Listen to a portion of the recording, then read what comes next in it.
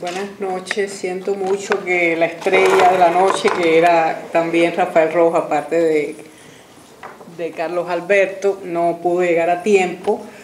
pero él eh, mandó un escrito que, voy a leer en su nombre. Eh, eh, Rafael Rojas, por si no lo saben, es un excelente historiador, tal vez el más erudito historiador cubano vivo en estos momentos, con perdón Juan Antonio, que también es historiador. bueno,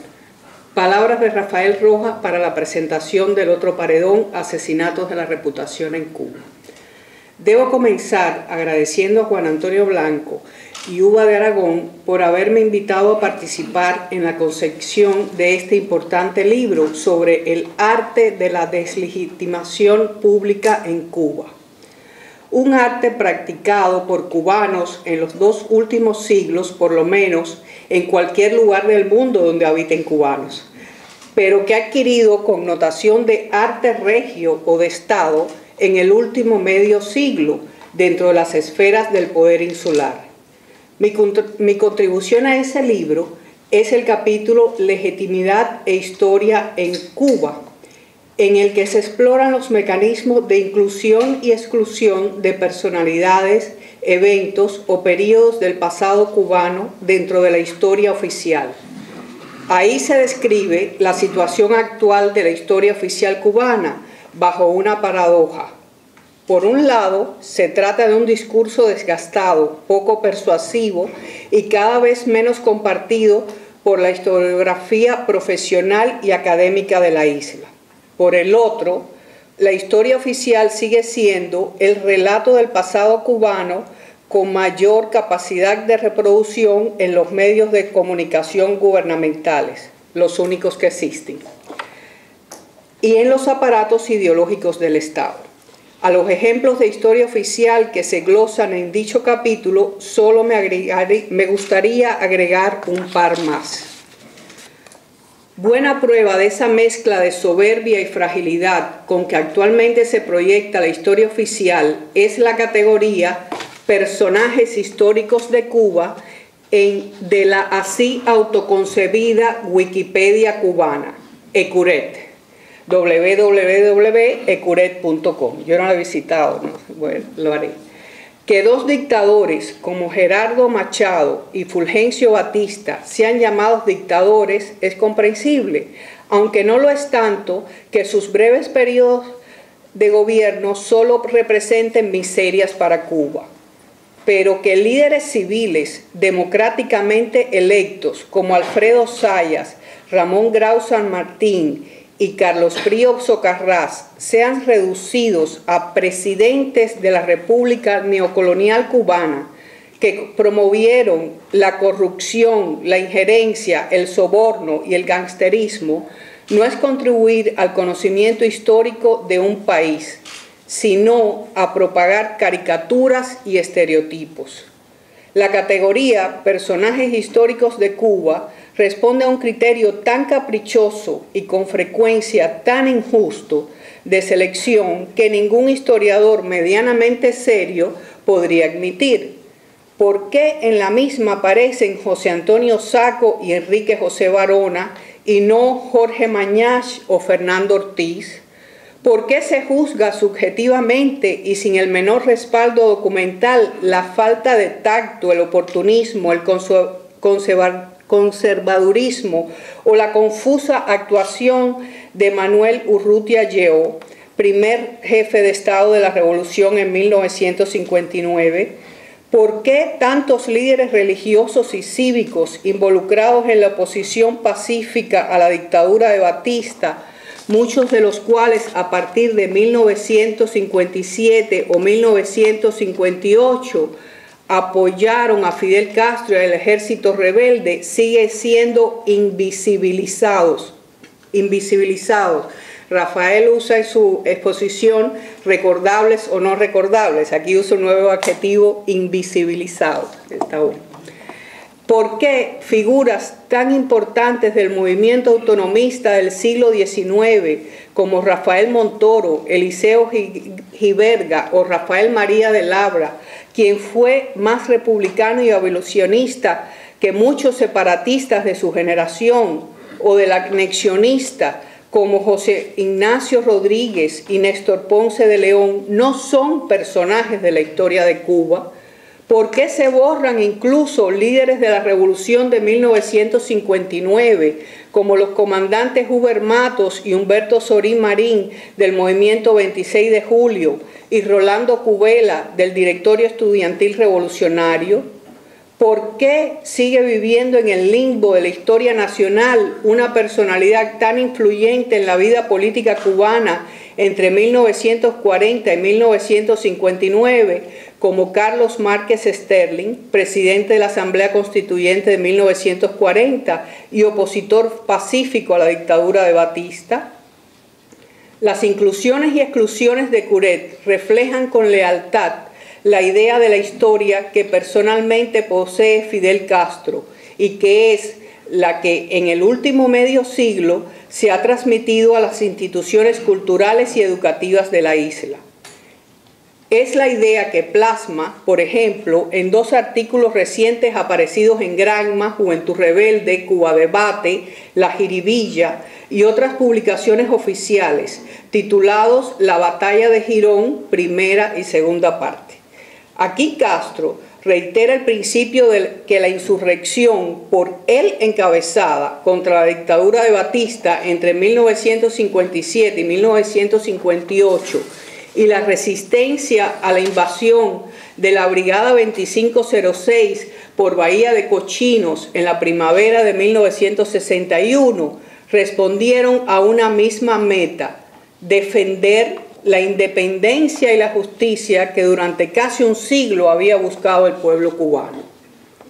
Castro enmarca, por tanto, el triunfo de enero de 1959 y la derrota del grupo invasor en abril del 61 dentro de un mismo ciclo histórico, iniciado con la intervención de Estados Unidos en la guerra hispano-cubano en 1898, el engaño de la Joint Resolution, el Tratado de París, el desarme del Ejército Libertador y la enmienda Platt.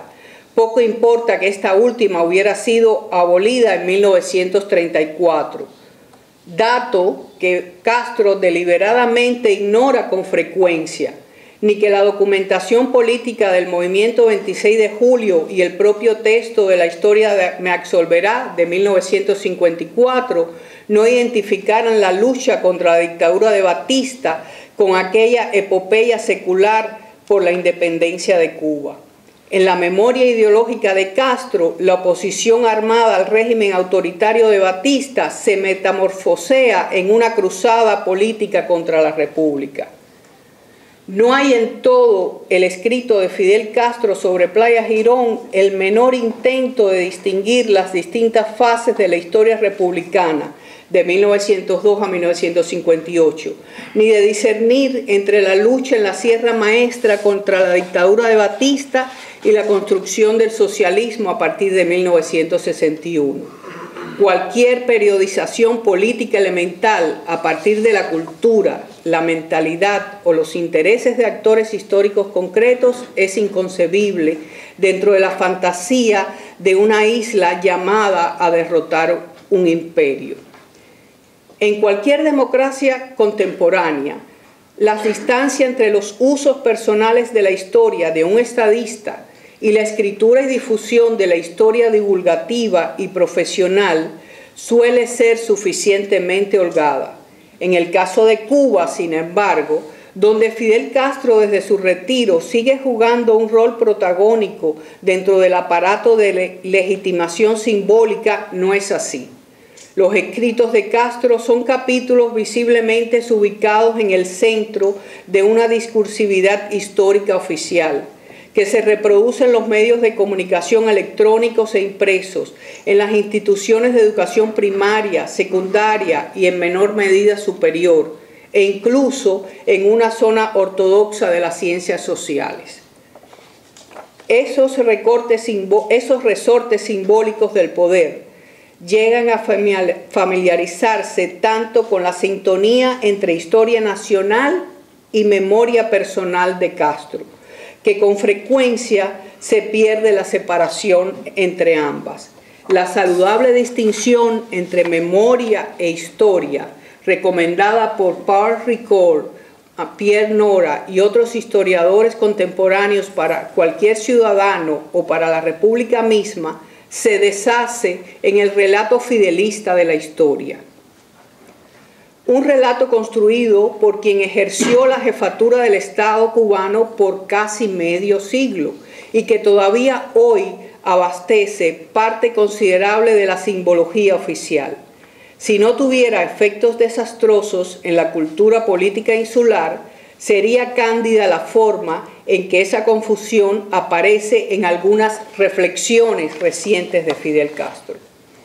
En la segunda parte del ya citado texto La batalla de Girón, Castro recurre a la documentación reunida por el historiador oficial Pedro Álvarez Tavío en la Oficina de Asuntos Históricos del Consejo de Estado de la isla para narrar la verdadera historia de los sucesos de abril de 1961. Sin embargo, esa verdadera historia no es más que el conjunto de mensajes que el propio Castro intercambió con la oficialidad cubana mientras dirigía la defensa contra el desembarco de la Brigada de Exiliados Cubanos por las costas de Playa Larga y Playa Girón. En un momento del relato, Castro confiesa es difícil escribir sobre los acontecimientos históricos cuando muchos de los protagonistas principales han fallecido o no están en condiciones de testimoniar sobre los hechos. Para Castro, por tanto, la historia es memoria, o más específicamente testimonio, no de los ciudadanos o las comunidades que reproducen diariamente la vida social, sino de los líderes revolucionarios que con visión cesarista o napoleónica supieron interpretar las claves de su tiempo y conducir a la nación a su destino. ¿Qué tiene que ver esta idea caudillesca de la historia con Marx, con Engels y con filósofos e historiadores marxistas del siglo XX como Walter Benjamin o Eric Hobsbawm? Nada, la idea fidelista de la historia cubana que transcriben no pocos historiadores oficiales de la isla, que se autodenominan marxistas, es en todo caso un eco apagado de la filosofía heroica de la historia, decimonónica, que defendieron pensadores románticos como Thomas Carlyle o Ralph Waldo Emerson que hicieron popular en el pasado siglo biógrafos como Emil Lewis o Stefan Zweig. A diferencia de Lenin, Stalin, Mao o cualquier otro líder comunista del siglo XX, incluido por supuesto el Che Guevara, Fidel Castro no asimiló nunca el pensamiento marxista. Sus apelaciones al mismo, sobre todo durante el periodo soviético, fueron impostadas, exteriores, una reiteración mecánica de conceptos en que la propia oratoria personalísima de Castro se desdibujaba. El verdadero punto de conexión intelectual de Castro con el estalinismo o el maoísmo no ha sido la teoría marxista, sino el culto a la personalidad. Una vulgar exaltación de sí compatible con el meollo mesiánico y maniqueo del nacionalismo revolucionario y con la embrutecedora metafísica del único marxismo que ha circulado libremente en Cuba en el último medio siglo, el soviético. En escritos y políticos y discursos memorables del joven Fidel, como la historia Max Olverá de 1954 o la primera declaración de La Habana de 1960, el sujeto de la historia de Cuba era el pueblo el pueblo metahistórico, siempre dado, idéntico e inmutable, que se había levantado en armas contra el colonialismo español en 1868 y 1895, contra la dictadura de Machado en 1933 y contra la de Batista en 1959. En la idea del devenir nacional del anciano Castro, plasmada en las reflexiones, el sujeto de la historia es el propio líder. Toda vez que su memoria personal se ha confundido irremediablemente con la trama del pasado. Poco a poco, la historia oficial cubana experimenta un desplazamiento similar. Un sujeto ya no es el pueblo, sino el caudillo. Fidel. Muchas gracias.